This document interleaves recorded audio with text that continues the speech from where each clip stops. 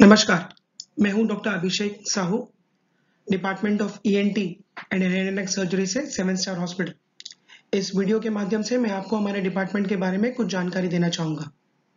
हमारे डिपार्टमेंट के head doctor Shailesh Kotalkar sir है। एक सीनियर ईएनटी एंड एनएनएक कंसल्टेंट है। इसके अलावा ये robotic surgeon maxillofacial surgeon and facial plastic surgeon भी है। हमारे डिपार्टमेंट के बाकी मेंबर्स में मैं डॉक्टर अभिषेक साहू और डॉक्टर रचना गंगवानी मैम इनके साथ हैं।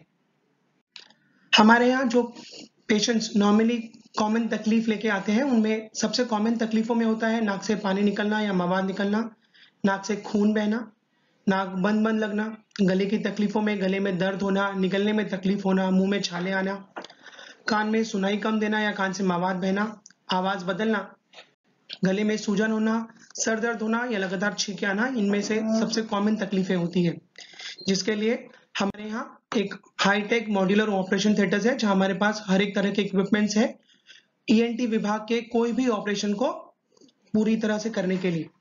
हमारे यहाँ जो अलग अलग तरीके के ऑपरेशन होते हैं, उनमें सबसे कॉमन ऑपरेशन है, गले में थायराइड और पैरोटेड ग्रंथि का ऑपरेशन करना, काना गले के संबंधित कोई भी कैंसर का ऑपरेशन करना, दूरबीन द्वारा माइक्रोस्कोप द्वारा बिना टाके के कान के ऑपरेशन करना, जिसमें कान के पर्दे में सुराख होना, या कान में हड्डी सड़ने की तकलीफ़ होना, या कान के नसों में तकलीफ़ होने की शिकायतों से संबंधित कोई भी ऑपरेशन यहाँ पर किए जाते हैं।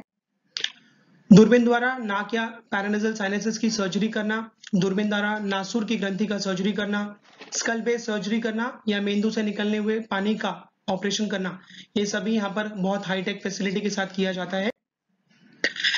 कोई भी ऑपरेशन जो कान ना गले से जुड़ा हो, जिसे हम लेजर के द्वारा कर सकते हैं, वो पूरे ही ऑपरेशन यहाँ पर लेजर के माध्यम से किए जाते हैं। इसके अलावा नेजल नाक की प्लास्टिक सर्जरी करना, जिसे राइनोप्लास्टिक कहते हैं। ऑपरेशन के अलावा कान से संबंधित सभी जांचें यहाँ पर किए जाते हैं। उसके अलावा कान की मशीनों के बारे में हियरिंग एड्स सेंटर भी यहाँ पर उपलब्ध है। हमारे यूट्यूब चैनल को सब्सक्राइब करिए सेवन स्टार हॉस्पिटल धन्यवाद।